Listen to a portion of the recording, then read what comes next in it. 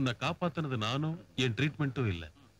இந்த மூணு நாளா அந்த சீதா பட்ட கஷ்டம் வேதனை வேண்டுதல் பிரார்த்தனை எக்ஸெட்ரா எக்ஸெட்ரா டாக்டர் என்னம்மா நெத்தியில காயம்? அது வேகமா ஓடி வரும்போது எங்கேயாவது அடிபட்டிருக்கோம் நான் போய் ஹாட் வாட்டர் கொண்டு வந்துடுறேன். நீ இப்ப நிறைய பாவம் பண்ணிட்டு இருந்தாலும் போன ஜென்மத்துல தப்பி தவறி ஏதோ புண்ணியம் பண்ணிருக்க போல இருக்கு. அதனால தான் அந்த பொண்ணு உனக்கு இவ்வளவு ஹெல்ப் பண்ணிட்டு இருக்கா.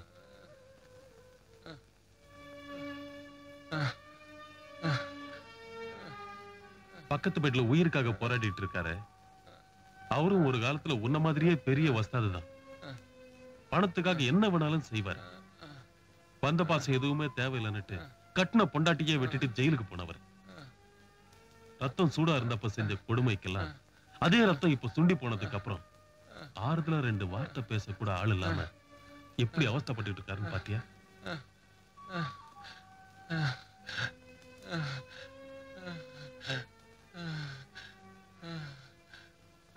இந்த நிலைமை உனக்கும் வரக்கூடாது. அதுக்காக நான் உன்னை மகாத்மாவா மாற சொல்லல. அட்லீஸ்ட் மனுஷனாவது வாழ முயற்சி பண்ணு. ஓகே டாக்டர்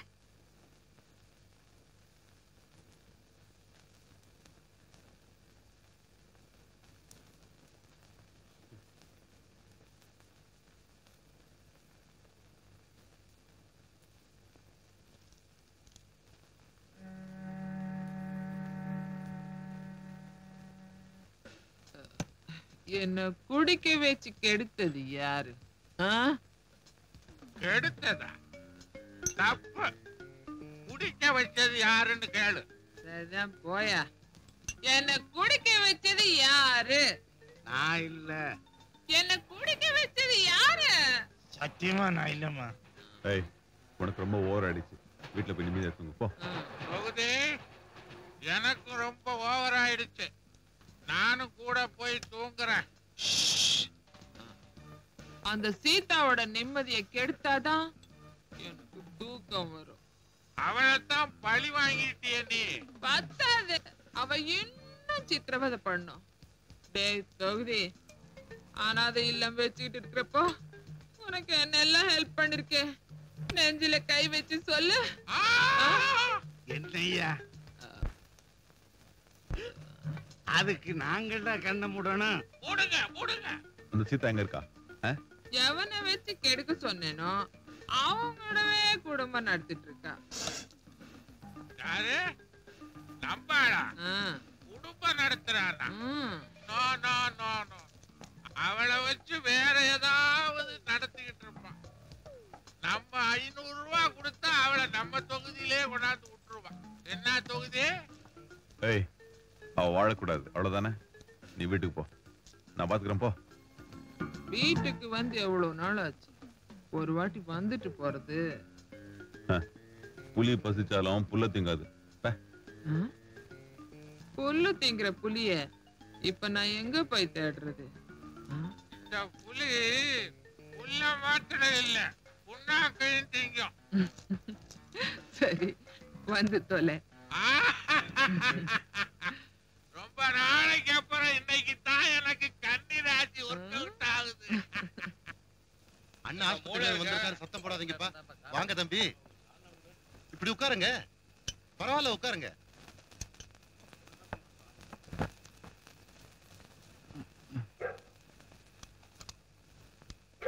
புற சாப்பிடுங்க.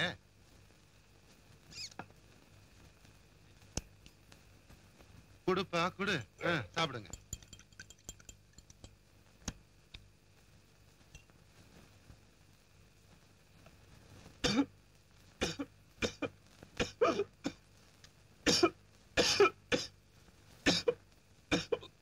யாரோ நினைச்சுக்கிறாங்க போல இருக்கு.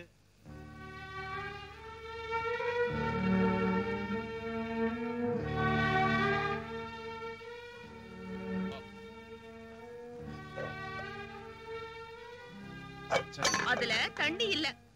அது தெரியுது. காலையில பானை நிறைய தண்ணி இருந்தது. எல்லாத்தையும் நான் தான் குடிச்சேன். முழு பானையுமா?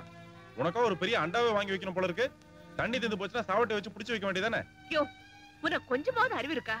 காலையில இருந்து சாயங்காலம் வரைக்கும் ஒண்ணுமே சாப்பிடாம வெறும் தண்ணிய மட்டுமே குடிச்சு வயித்த ரொப்பிட்டு இருக்க அத கூட புடிச்சுக்காம தண்ணி தீர்த்து போச்சுன்னு கவலைப்படுறிய? சோறு துண்ணியா ஏன்? எதிர் வீட்டுல துண்ண வேண்டியதானே? உன் வீட்ல இருந்துகிட்டு எதிர் வீட்லயா போய் சோறு தின்பாங்க? உனக்கு தான் ரோஷம் இல்ல? எனக்குமா இல்ல? இந்த பாருமா நம்ம நீ ஆஸ்பத்திரி கூட்டு போன உசுரை காப்பாத்தின மருந்து மாத்திரை எல்லாம் வாங்கி கொடுத்த அது வரைக்கும் தேங்க்ஸ் அதுக்காக நீ வந்து சோத்தை வாங்கி கொடு அத்தை வாங்கி கொடு இத்த வாங்கி கொடு நம்மள பேஜார் பண்ணாத. நானா சொன்னேன் உன்னை இந்த வீட்டுல வந்து குந்திக்க சொல்லி. சரியா. நான் அதான் வந்தேன். இனிமே நீயா உன் கையால எனக்கு வாங்கி கொடுத்தாதான் நான் சாப்பிடுவேன். இல்ல பசி பட்டி உண்ணாவிரதம் சாகும் வரை. திருட்டு தருமா நீ மாத்திரம் சாப்பிட்டு வந்த? அப்புறம் உன் வயிறு வலிக்கும்? ஆமா. ஒரு பிரியாணி பார்சல். பார்சலா?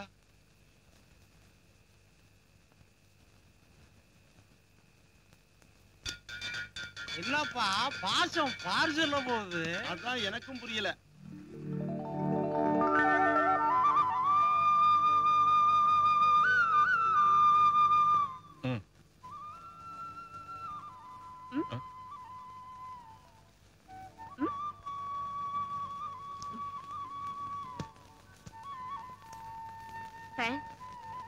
சாரி தேங்க்ஸ் பிரியாணி சாப்பிட்டு நான் என் உண்ணாவிரதத்தை முடிச்சுக்கிறேன்.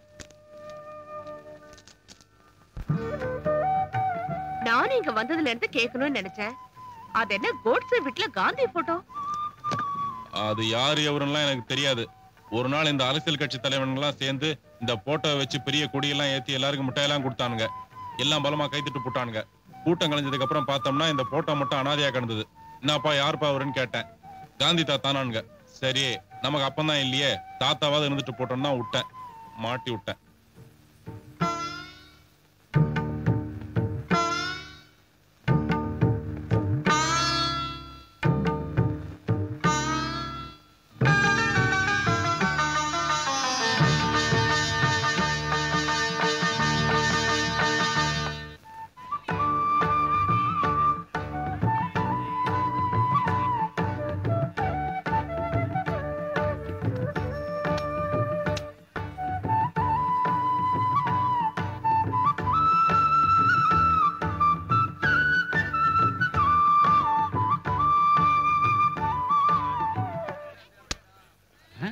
பாத்துமா அடிக்கிற அடியில புடவை கிழிஞ்சிட போகுது. இதுக்குத்தான் பெண்களுக்கு தகுந்த பாதுகாப்பு கொடுக்கணும்னு போன கூட்டத்துல நான் பேசினேன். நீ எப்படா மேடையில பேசின? நான் எங்க மேடையில பேசினேன் மாமா. அங்க ஒரு மீட்டிங் நடந்துட்டு இருந்ததா? கூட்டம் வேற கம்மியா இருந்தது. அதனால கூட்டத்தோட கூட்டமா போய் ஜனங்க கிட்ட பேசிக்கிட்டு இருந்தேன். முண்டா பேசின்தான் பேசினேன் ஒரு மந்திரி பேசின கூட்டத்துல பேசியிருக்கப்படாது. ஒரு கவர்தியா இருக்கும் இல்ல. மாமா நான்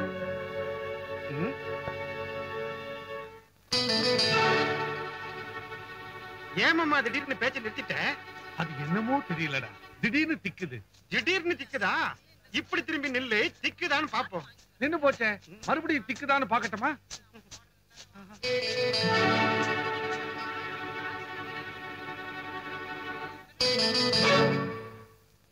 அது என்னமோ தெரியல மாமா. வர வர இந்த புதன்கிழமை ஆனா உடம்பெல்லாம் புல்லரிக்குது. அரிக்கண்டா. ஏண்டா? புல்லரிக்கிறது என்ன உங்க பரம்பரை வியாதியா? உங்க அக்கா கூட இப்படித்தான். அரிக்குது சொரிஞ்சு விடுங்கம்பா சொரிஞ்சு சொரிஞ்சு ரெண்டு கையும் பாத்தியா? ரத்த கண்ணி ராதா அண்ணன் மாதிரி ஆயி போச்சுடா மனசு? என்னது? நாயில எல்லாம் இவன் தான். அண்ணன் நாயில நான் இவரை சாத்துங்க. சொந்தத்துக்காக மாமா இல்ல சகவாசத்துக்காக மாமா.